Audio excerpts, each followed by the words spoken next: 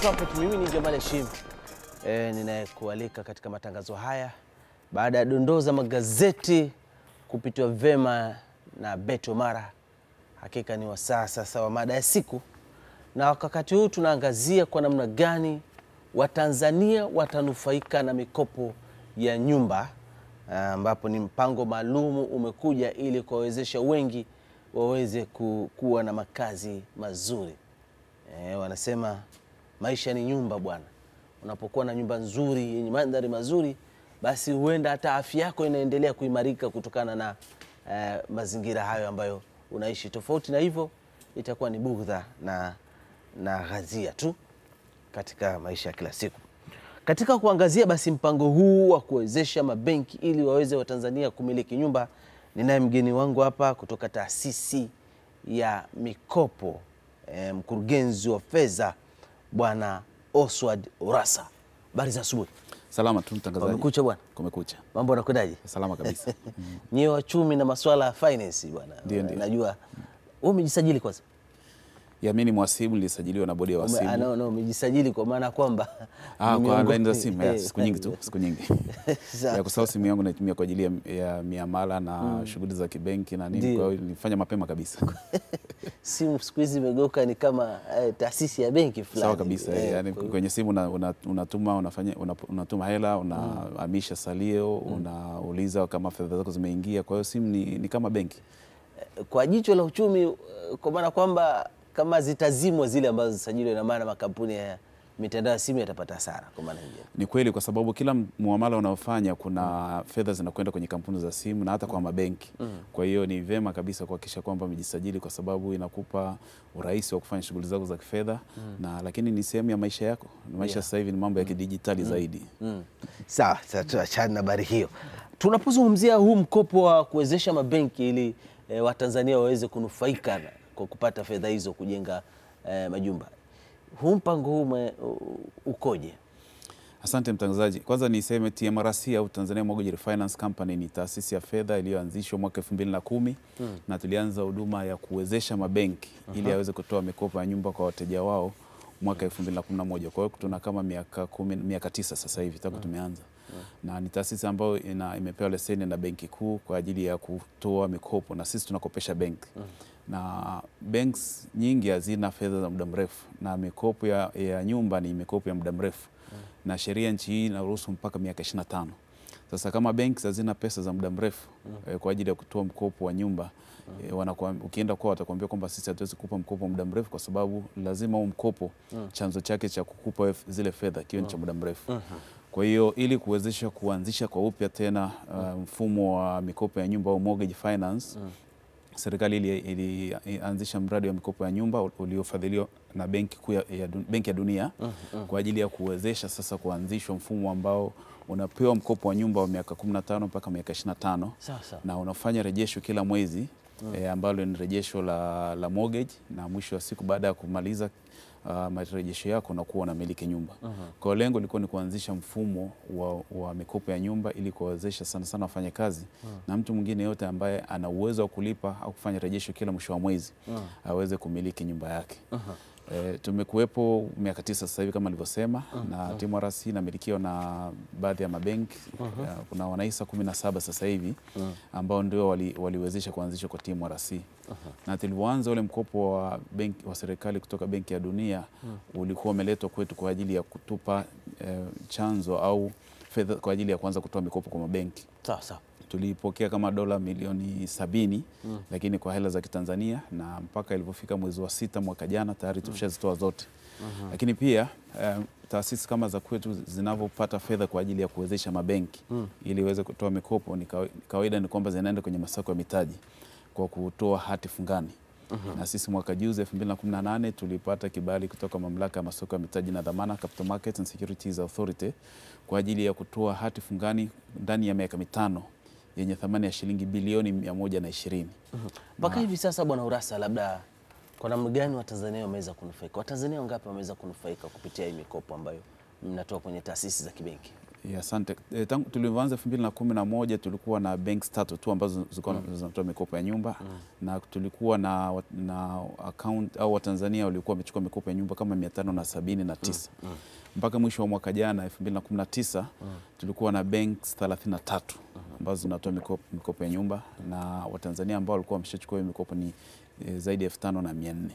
Ya kwa hiyo kuna mwamko ume, umeongezeka kwa sababu sasa hivi ile fursa ya kumiliki nyumba inawezeshwa kwa wewe kama mkopaji kwenda benki na ukachukua pesa.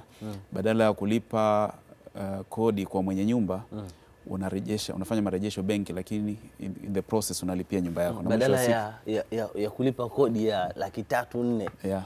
Hilo- hilo- hilo rejesho hilo hilo hayo malipo ya kodi ndio anafanya kuwa kwamba rejesho kwa ajili ya, ku, ya kulipia deni lako la nyumba. Na ukimaliza nyumba inakuwa ni mali yako. na, na, na, na makato huwa ni kiasi gani? Au mnaangalia salary ya mshahara ule wa mtu ambaye anapokea na amekubali ku, kuingia katika mpango wa kukopa? Ya mkopo wote ili uweze kupewa na benki wanaangalia mshahara wako, na sheria za nchi zinasema kwamba utakiwa mkate abakiwe na chini ya moja ya tatu mm -hmm. ya, ya, ya makato yake.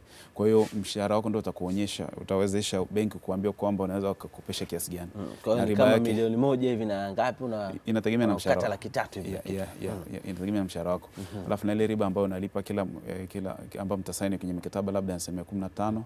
Tulivyoanza riba ziko kwenye asilimia ishirini mpaka ishirini na tatu zimeshuka mpaka sasa hivi ni asilimia kumi na nne mpaka asilimia kumi na sita kwa kwa, kwenye hizo benki thelathini na tatu ambazo zinahusika uh, na utoaji wa mikopo ya nyumba. Mm -hmm. na walengwa hasa ni nani? Watumishi wa kiserikali ama watu wote ambao wenye, wenye, wenye kuhitaji? Walengo ni watu wote, ili mradi tu udhibitishie benki kwamba una uwezo wa kufanya marejesho na kurejesha mkopo.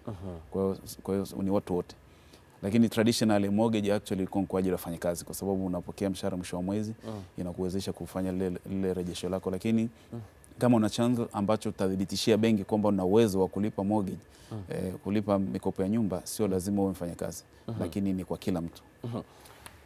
hapo kwenye mikopo ya nyumba eh, kwa maana kwamba serikali inakuwa tayari imeshajenga ime- ime- nyumba zake, ama nyie kama taasisi ya mikopo ya nyumba mnakuwa tayari mna nyumba nyumba ambazo tayari imeshajenga, huyo ambaye ni mhitaji anakuwa kwamba anajiingiza katika utaratibu wa kukopa, ama anatafuta eneo mwenyewe alafu anaingia makubaliano na nyie. E, kawaida mikopo ya nyumba inategemea kwamba kuwe na nyumba ta, ambayo iko tayari. Na tunazo taasisi ambazo zinajenga nyumba kwa mfano e, shirika, nyumba, shirika la nyumba la taifa National Housing. Alafu na taasisi nyingine ya watumishi housing. Lakini hata watu binafsi. E, kuna makampuni binafsi wanajenga nyumba kwa ajili ya kuuza. Kwa hiyo sisi tunakuja kumsaidia mnunuzi kununua. Kwa hiyo lazima iwepo nyumba na awepo mtu ambaye yuko tayari kununua ile nyumba iliyojengwa na National Housing na watumishi au hata mm. sekta binafsi au hata nyumba nyingine, pengine una nyumba yako nataka ku, kuuza kwa sababu moja ama nyingine, mradi kuna nyumba ambayo iko tayari. Kwa hiyo sisi tunachofanya ni kuwezesha benki kupatie wewe mkopo ili ukanunue nyumba kama National Housing, kama ni watumishi, kama ni kwa- private developers au kama kuna mtu mwingine yote ambaye anataka kuuza nyumba ili mradi iwepo nyumba. Kwa hiyo sisi kazi yetu ni kukuwezesha wewe kwa kupitia mabenki ili uweze kununua nyumba. Sawa sawa sawa. Na kiwango ama inategemea na gharama ya nyumba yenyewe, ama kuna kiwango ambacho kiko kiko kiko ambacho eh, kimewekwa maalum.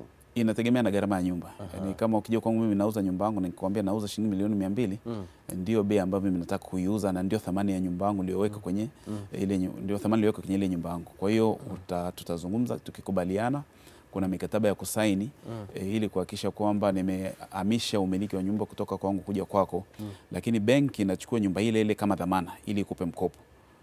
Yaani nyumba utakayonunua kutoka National Housing na watumishi au hata kwa mtu binafsi ndio inakuwa mkopo, ndio inakupa dha, inakuwa dhamana ya ule mkopo. Mm -hmm. Kwa hiyo watabaki na ile hati ya umiliki okay. wa nyumba ambayo ina jina lako pamoja mm -hmm. na jina la benki mm -hmm. iliyokukopesha. Na ukishamaliza kurejesha mkopo basi wanakurudishia title yako ambao wana- wanajiondoa kwamba sio wamiliki tena mm -hmm. au hawana hawana hawana interest na ile na ile proper- property kwa sababu wamesharejesha mkopo. Mm -hmm. Nini hasa kilichowasukuma mkaja na eh, mpango huu? M- mikopo ya nyumba ni, ni, ni, ni mojawapo ya mfumo wa sekta ya fedha mm -hmm. kwa nchi za wenzetu ziliz- zilizoendelea actually, mm -hmm. na ukitizama eh, takwimu zinaonyesha kwamba nchi zenye mfumo mzuri wa mikopo ya nyumba zina maendeleo ya hali ya juu. mm -hmm. Kwa sababu gani? Uki, ukishapata sehemu ya kutulia na pale mwanzo ulisema kwamba nyumba ni uhai. Ukishapata sehemu ya kutulia, maisha, maisha ni uhai au maisha ni nyumba. Ukishapata sehemu ya, ku, ya kupumzika kwa maana ya nyumba mm. Uh, inakuondolea mm, msongo wa mawazo, kwa maana kwamba waanze kufikiria mambo mengine mm. na, na vitu vya namna hiyo. mm. Kwa hiyo unakuwa ume, ume, ume, umepata utulivu wa akili mm. na inakupa nafasi ya ku, concentrate zaidi kwenye kazi yako mm. na, na pia mifumo ya nyumba mifumo ya mikopo ya nyumba ni sehemu ya pesa za muda mrefu long term finance ambayo tulikuwa tunaikosa hasa baada ya benki ya THB ambayo ndio ilikuwa inatoa mikopo ya nyumba kufilisika mwaka 95 moja. Lakini la pili e, ni kuwezesha wananchi kuweza kumiliki nyumba na ndio maana e, ikaanzishwa na hizi ni jitihada za serikali kuhakikisha kwamba kuna mfumo ambao unawasaidia wananchi kumiliki nyumba Ndiye. na ni nia ya serikali na nia kila mtu. Hata wewe mwenyewe nadhani unatamani kabisa kwamba Mm, uwe mmiliki wa nyumba. Kwa hiyo mifumo hii imejengwa ili kuwezesha umiliki wa nyumba miongoni mwa wananchi wote.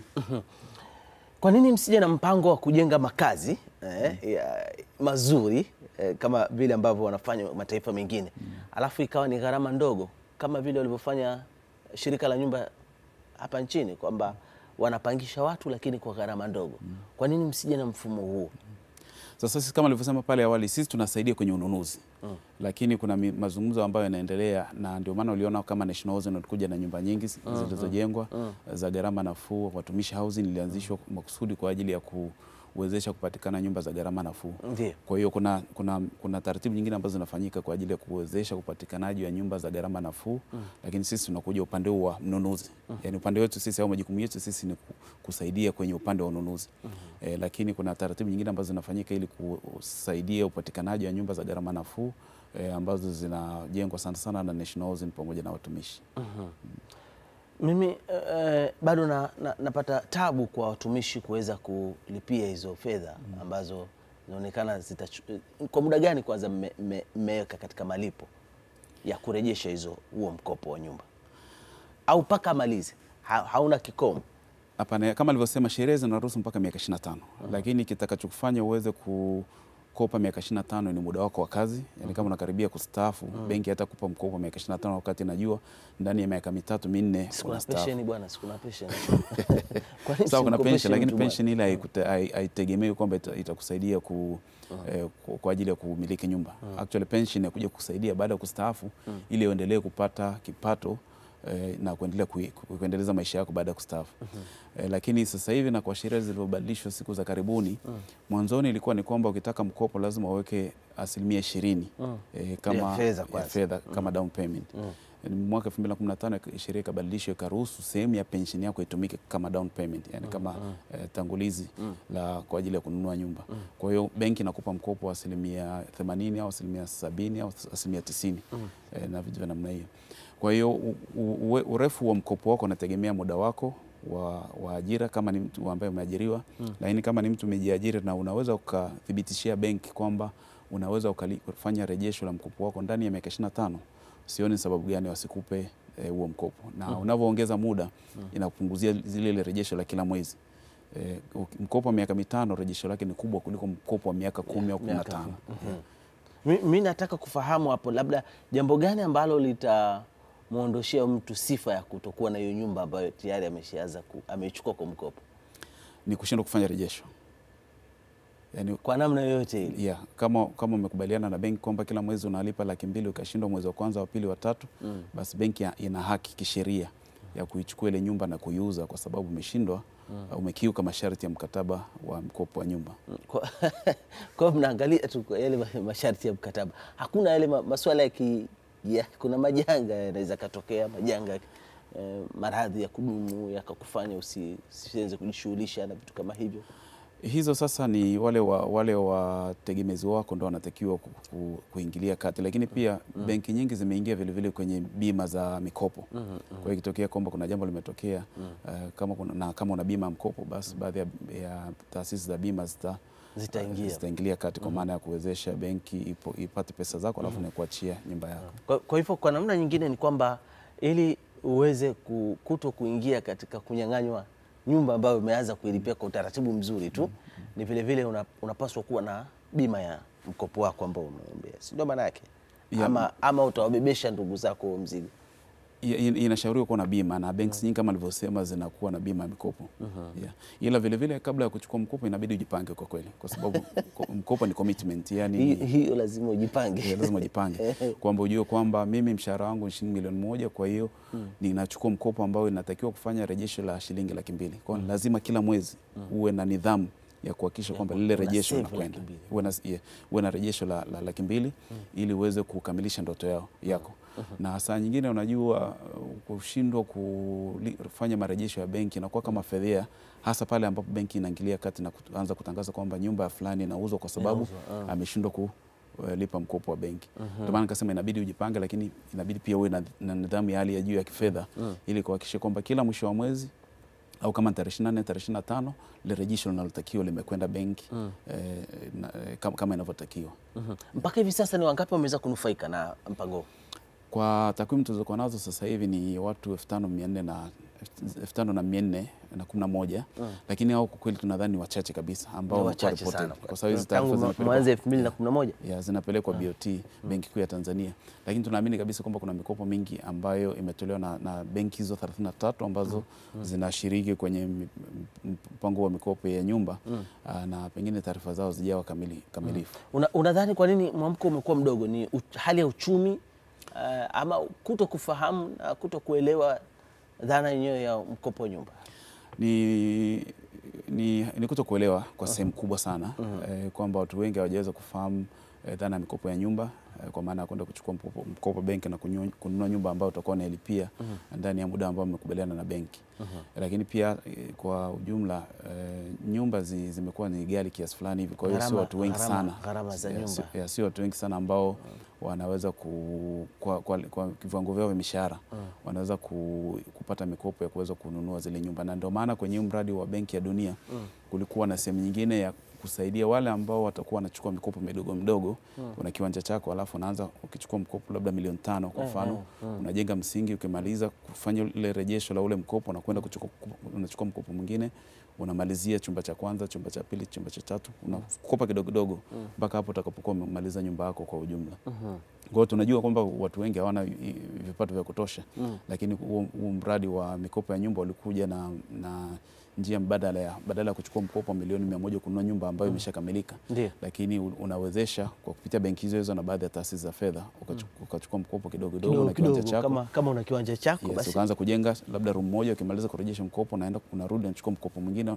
unajenga chumba cha pili, mara tatu, mara nne, mara tano utakuwa umeshamaliza kujenga nyumba wengi wamekuwa wakilia uh, masuala ya riba.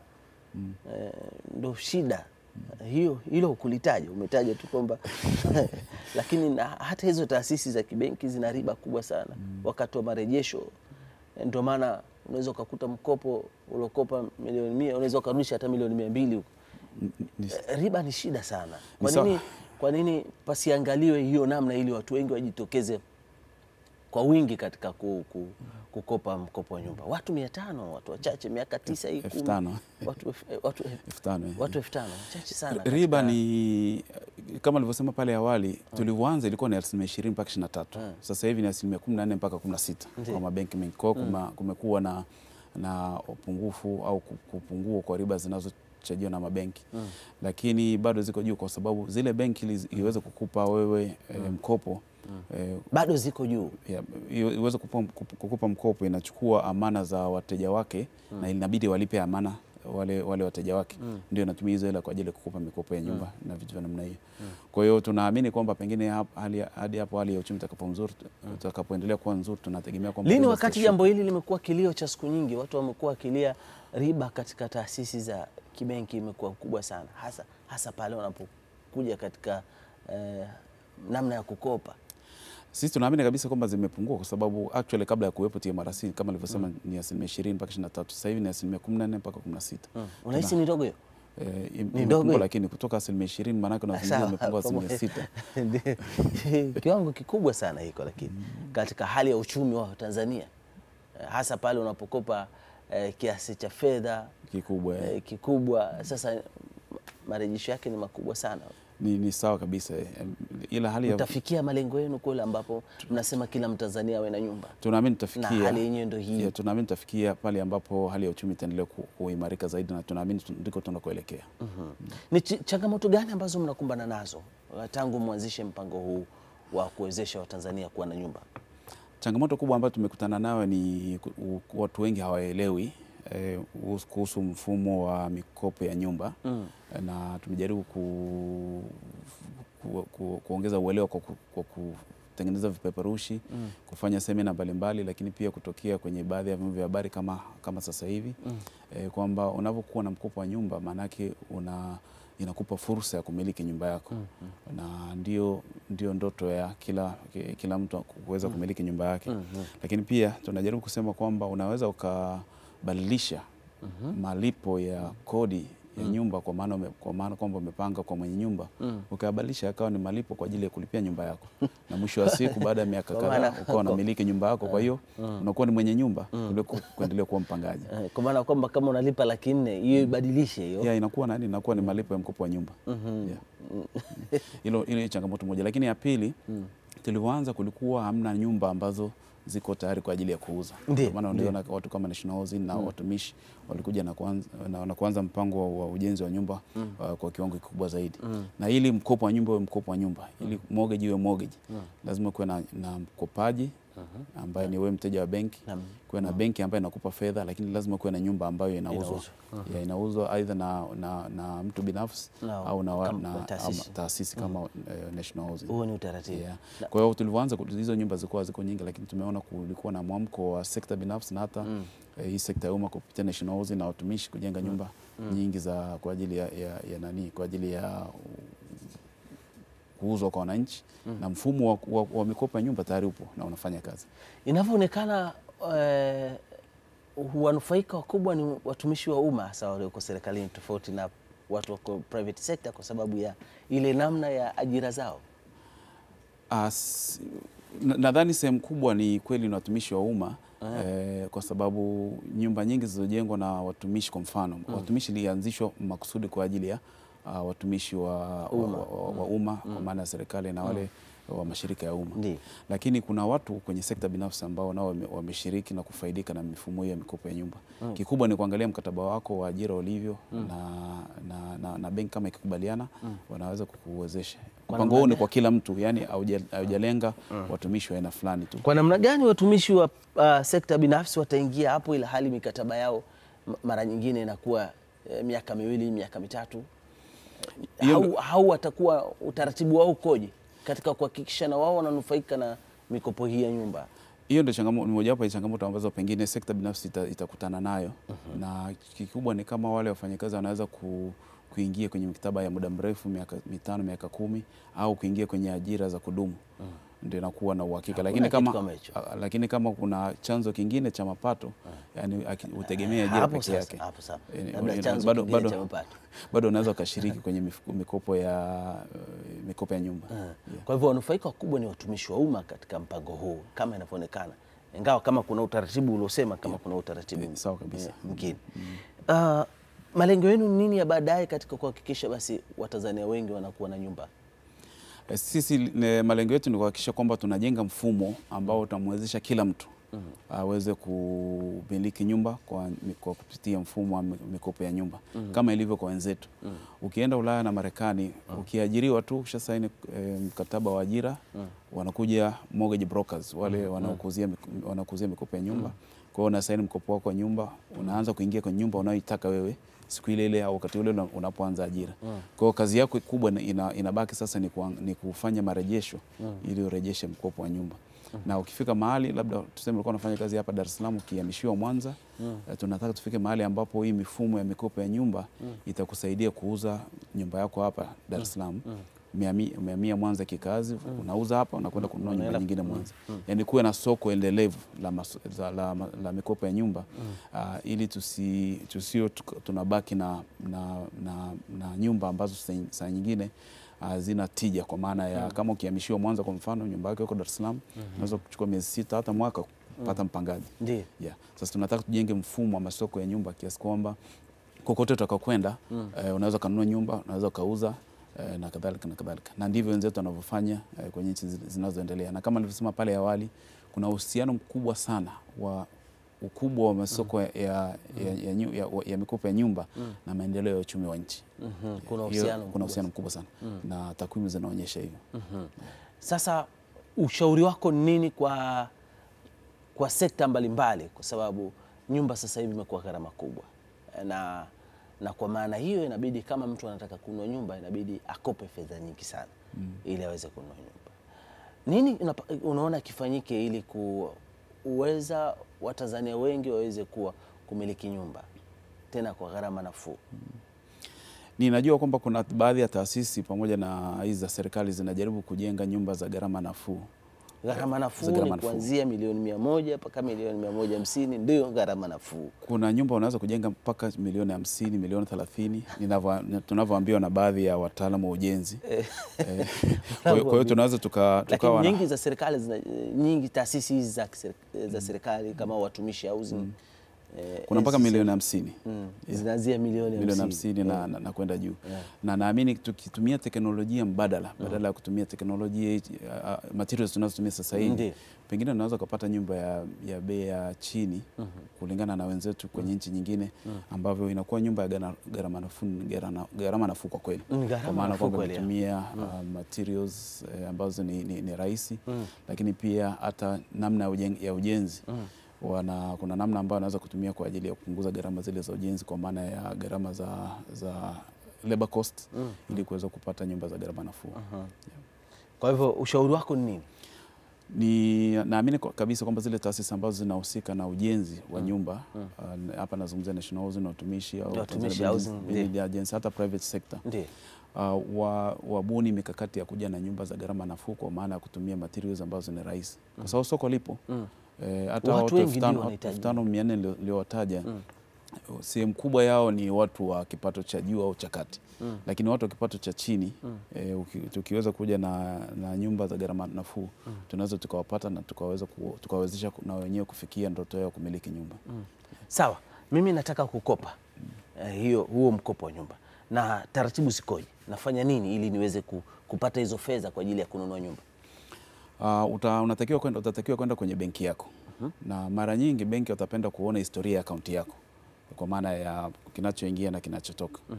na sana sana kwa, kama ni mfanyakazi wapate uhakika wa mshahara wako kiasi gani. uh -huh. Kwa utakwenda kwenye benki utawaambia unataka mkopo wa nyumba, watakuuliza upeleke mshahara wa miezi mitatu salary slip, Uh, then kuna fomu za kujaza, utafanya assessment na kuangalia kwamba kwa kiwango chako cha mshahara uh -huh. wanauona kwenye akaunti yako inavyopita kwenye benki yao. Eh, watakufanyia watakokotoa watakuambia kwamba uh, kwa kiwango chako cha mshahara wewe unaweza kukopa mm. uh, shilingi milioni kadhaa mm -hmm. lakini kama ni mkubwa wa nyumba mm. watakuuliza vilevile hiyo nyumba ambayo unataka kukopa pesa kwa ajili yake iko wapi. Kwa sababu kama nilivyosema ile nyumba yenyewe inakuwa ndio dhamana. Yaani wata, ita, itakuwa kwa jina lako na jina la benki inayokupa uh, mkopo mpaka pale utakapokuwa umerejesha mkopo ndio nyumba inakuwa inarudi ina, ina, kwako. Kwa kama unataka kuwa kukopa nyumba I mean, kukopa mkopo kwa ajili ya kununua nyumba lazima uwe kuwe na nyumba ambayo inauzwa. Nyumba inauzwa. Aidha na National Housing na watumishi au hata kama ni mtu binafsi. Eh, uwe na mikataba mshakubaliana lakini wawe na uhakika. Na huyo muuzaji. muuzaji eh, yeah. Wawe na uhakika kwamba una mapato ya kuweza kufanya rejesho kila mwezi kwa kipindi chote ambacho eh, mtaingia mkataba nao. Alafu uta, kuna document kuna mikataba tukasaini na benki kwamba wamekukopesha na mojawapo kipengele ni kwamba ukishindwa kurudisha kufanya marejesho unaipa benki haki ya kuchukua ile nyumba. Ah, itauza alafu baadaye itarikava Eh, Ishawahi kutokea hivyo? zipo zipo. Yeah. Mm, watu wanyang'anya nyumba. Yeah, wapo. Mm. Kuna watu, we, watu wengi tu mm. ila kwa mikopo ya nyumba eh, takwimu zinaonyesha kwamba sio watu wengi sana wana wanashindwa kufanya marejesho, labda itokee bahati mbaya sana, labda ni, ni, ni ugonjwa kama tulivyosema pale awali mm. au amepoteza kazi e, eh, Hawezi kuangalia vitu kama hivyo. ile bima ya, ya, ya, ya mikopo ndio ina, inaingia kati ya mikopo. ya, ya, ya. Na lakini sababu ni kwamba kama nilivyosema uki wakishindwa kurejesha ukishindwa kurejesha mkopo mm. benki inapita na kutangaza nyumba ya bwana Urasa inauzwa kwa sababu ameshindwa kurudisha mkopo. Sasa ina, ina psychological torture fulani hivi ina, ina, ina, ina athari ya ya ki- ki- kisaikolojia kiasi fulani hivi. Na ndio maana utakuta- na wanafanya hivyo makusudi. Ili, ili watu wengine wasi sawa kabisa. Na- wasifanye mchezo mchezo katika sawa, kurudisha sawa kabisa. Na ndio maana utakuta watu wengi sana kwenye mikopo ya nyumba wanajitahidi sana kulipa. Ili usikutane na hiyo uh, Kadhia. uh, yeah, exactly. yeah. Sawa bwana Urasa, hebu hebu tupumzike kidogo na kisha tutakuja kumalizia hapa na bwana Urasa na tutaingia sehemu nyingine ya mada asubuhi. Mimi ni Jabali Hashim na kuletea matangazo haya kutoka katika jiji la Dar es Salaam. Tunazungumzia kwa namna gani wewe Mtanzania unaweza kunufaika na mikopo ya nyumba kupitia taasisi za kibenki, ingawa kilio cha Watanzania wengi ni ile riba kubwa ambayo inatozwa na taasisi za kibenki. Napumzika na kisha narejea tena hivi.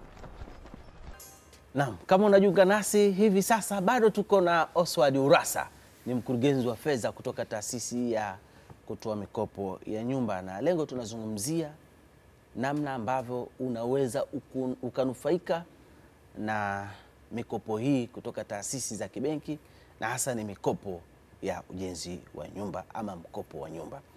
Kwa hivi sasa tunaendelea tena na tunazungumzia hiyo mikopo midogo midogo ambayo e, taasisi hii imekuja nayo. Lengo ni kuhakikisha basi kila mwananchi ananufaika na mikopo hii ya nyumba. Bwana Oswald Urassa, Naam.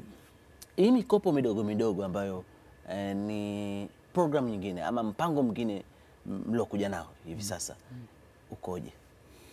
Asante. Uh, kwenye ule mradi wa- Benki ya Dunia ya mikopo ya nyumba ulikuwa na sehemu tatu. Mojawapo ni ya mikopo halisi ya nyumba mortgage finance ambayo ndio TMRC, uh -huh. lakini ilikuwa na mikopo mingine midogo midogo ambayo wameanzisha mfuko wa, wa mikopo midogo midogo ya nyumba inaitwa Housing Microfinance Fund uh -huh. ambao mpaka sasa hivi unasimamiwa na Benki Kuu ya Tanzania uh -huh. na hiyo eh, lengo lake ni hasa hasa ni kuwa inawalenga wale wateja wadogo wadogo ambao uh -huh. eh, kiwango chao cha mishahara akiwawezeshi kwenda benki na kuchukua mkopo kwa ajili ya kununua nyumba na wanachokifanya ni kwamba uh, pengine ana kiwanja tayari au anachukua mkopo wa kwanza ananua kiwanja akimaliza kurejesha anarudi tena kwenye benki au taasisi za fedha ambazo zimepewa mkopo huo na BOT, anachukua mkopo wa pili, anajenga msingi, labda anajenga na kuta. uh -huh. Akimaliza ule mkopo anarudi mara ya tatu, anachukua mkopo kwa ajili ya kuwezeka. Ah, alafu akienda mara nne labda ana, ana, anamalizia nyumba Kwa anamaliza yeah. eh, anamaliza deni hilo ambalo atakuwa anadaiwa sawa kabisa yeah. Alafu ndo anakwenda kuchukua mara ya pili yeah. na u, u, kufanya kukotoa kiasi cha mkopo ambacho anaweza- ataweza kuchukua ni sawasawa na ina, ina, ina, inategemea na kiwango cha mshahara vile vile au kipa- kiwango cha mapato. Kwa hiyo hii taasisi ya mikopo midogo midogo e, kama alivyosema iko kule BOT bado Benki Kuu ya Tanzania na ndio nasimamia mpaka sasa hivi, lakini lengo lake ni kuwasaidia wale wenye kipato kidogo uh -huh. ili na wenyewe waweze kushiriki kwenye mfumo wa mikopo uh -huh. kwa, kwa, kwa hivyo uh, hii bado iko Benki Kuu ya Bado Tanzania, Benki bado haijasamba kwenye taasisi nyingine za kibenki. Hapana, yani inasimamiwa na benki kuu kwa maana ya kutoa mikopo, na kuna baadhi ya mabenki ambayo yamechukua mikopo eh, ambayo wanaitoa kwa wateja wao kwa mfumo wao uliosema, unachukua kidogo, unajenga uh, ukimaliza mkopo unarudi tena.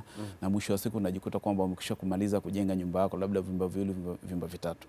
Kwa hiyo inasimamiwa na kule benki, na benki kuu eh, lakini fe- fe- fedha zimeshatoka kwa baadhi ya mabenki na nafahamu kama benki ya TPB Bank na DCB Bank ni kati ni kati ya mabenki na taasisi za fedha ambazo na yetu microfinance ambao imeshachukua hiyo mikopo na tuna kuna rekodi ya wa- wa- wanufaika ambao wameweza kunufaika na mikopo hiyo na wengine mpaka wameweza kumaliza nyumba zao. Uh -huh. Kwa lengo hasa ni kuwasaidia wale kwa kipato cha chini ili waweze kushiriki vile vile kwenye mfumo ya mikopo ya nyumba. Na utaratibu ni ule ule kwa, kwa, kwa, kwa, kwa, kwa, kwa kuanza kukopa Kwa maana ya ku, kwa mkopaji anayetaka kukopa an, anakwenda benki eh. anakwenda benki ambazo zimeshiriki kwenye Housing Microfinance Fund mm -hmm. na watamfanyia tathmini zile zile mm. kipato na ni kiasi gani unaweza kukopa na, na kama kuna nani kuna dhamana. Ambayo mara nyingi inakuwa ni ile ile ardhi au ile e, hati ya ardhi ambayo inaimiliki. Ndio unaiacha kule benki kama dhamana yako na ndipo benki inaweza kukupa kukupa hela. Yaani kama mfumo wa, wa mortgage ka, kabisa isipokuwa sasa ule unalenga watu wa kipato cha chini. Niliwahi kuzungumza na watu wakasema, mbwana, lakini pamoja na kukamilisha taratibu hizo zote ambazo zinahitajiwa, mbwana, fedha zinachelewa kuingia kwenye akaunti ya mtu mhitaji. Ah, sasa itakuwa ni utaratibu wa kibenki, lakini kawaida na ushindani uliopo ndani ya benki sasa hivi, kama kila kitu kiko sawa, sitegemei kwamba kutakuwa na ucheleweshaji. kama kila kitu kiko sawa, yani umepeleka dokumenti zako e, benki wameridhika kwamba una uwezo e, benki wameshaandikisha ile hati ya umiliki wa nyumba, kwa sababu kama kama nilivyosema, lazima iwepo jina la benki na jina lako kule Wizara ya Ardhi kwa msajili wa, wa hati. Mm. na wadhamini ya, ya, msajili wa hati sana sana. Mm -hmm. Kwa hiyo hakuna sababu ya kuchelewesha, hakuna sababu Eh, ya hakuna sababu ya kuchelewesha. Sawa, nakushukuru Bwana Oswald Urassa. Hakika tu imekuwa sehemu nzuri ya kufahamu kwa namna gani Watanzania wengi wanaweza wakanufaika na mikopo ya nyumba, mikopo mikubwa, na hali kadhalika wale wenye kipato cha kati na cha chini, kwa namna gani wanaweza wakanufaika eh, kupitia taasisi hizi za kibenki ili waweze kuboresha maisha yao. Tunaambiwa maisha ni nyumba. Hakika kupitia mfumo huu basi, kama utakuwa unasimamiwa vizuri na wahusika, basi wengi watakuwa wananufaika sana. Lakini ndo hivyo e, mwenyewe akasema kwamba e, usiporudisha fedha hizi, basi utakuta kuna gari linapita mtaani na kutangaza jina lako kwamba nyumba ya mtu fulani e, nyumba ya mtu fulani inauzwa kutokana na kushindwa kurejesha mikopo. Ni aina fulani ya ku, ya, ya kudhalilisha, lakini kuwafanya watu wengine kulipa hiyo mikopo. Nakushukuru sana Asante. Sana. Nakushukuru nawe mtazamaji kwa kuwa nami hivi sasa. Namruhusu Bwana Urassa kutekeleza majukumu yake ya kila siku, nami napumzika na kisha nitarejea tena katika mchaka mchaka asubuhi. Kipindi ni Morning Trumpet. Mimi ni Jamal Hashim.